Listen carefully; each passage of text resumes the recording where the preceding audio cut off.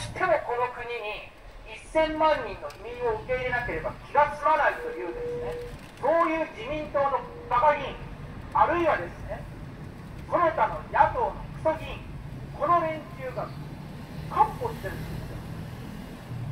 あのね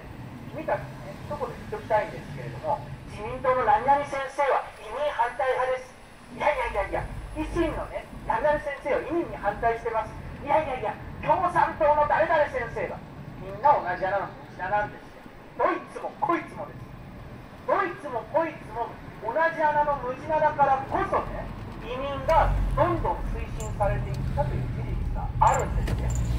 自民党だってね先ほども言った通り党勢として移民受け入れをやってるんですですからね安倍晋三が安倍晋三がいきなりですね34万人を上限として移民を受け入れるしかしその家族まで含めるとこの34万人が340万人もしくは680万人に膨れ上がる可能性があったんですよもしこれがその通りになっていたとしたら10倍に膨れ上がっていたら20倍に膨れ上がっていたら先ほども言った通り移民1000万人もそれで完成なんですねですから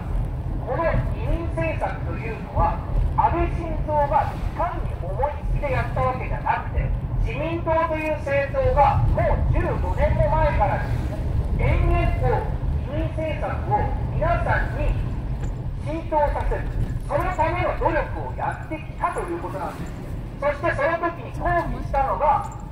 我々行動する保守運動だけでございました今になってね皆さんもえそれはことじゃないっていうことが分かったでしょう。みんな今頃になってですねいや行動する保守運動のね。その主張正しかった。素晴らしい。ふざけんじゃねえって話なんですよ。あんたたちが悪いんだよ自分たちが悪いんですよ。これだけ多くの外国人を受け入れる形になってしまった。そしてその外国人を受け入れるということは日本人の労働者が職を失うということなんですよ。自民党が狙っていた通りです。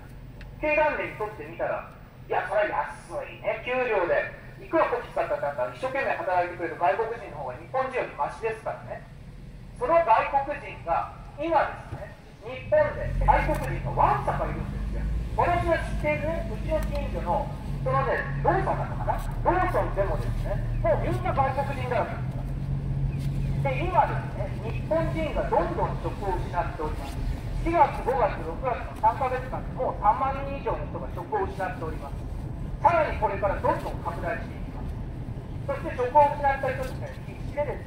職場を探すわけじゃないですか。その職場としてじゃあせめてコンビニのねバイトで食いつなごうよ。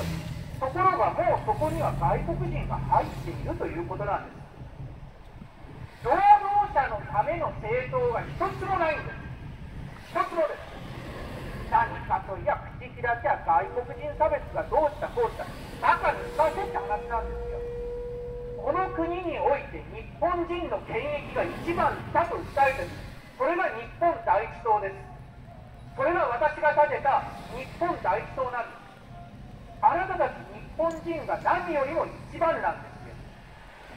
あなたたち日本人が一番なのに今やね政府もあるいは地方行政も官僚もどいつもこいつも外国人が一番。外国人が一番だって言うんだったらてめえのうちでね外国人養ってみろよって話なんですよ。それできもしないくせにですね人に押し付ける。国民に外国人を押し付ける。そしてその国民は職を失い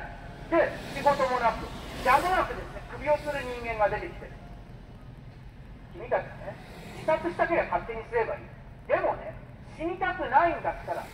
職を求めるんであるならば日本第一党を支持すべきなんですよ。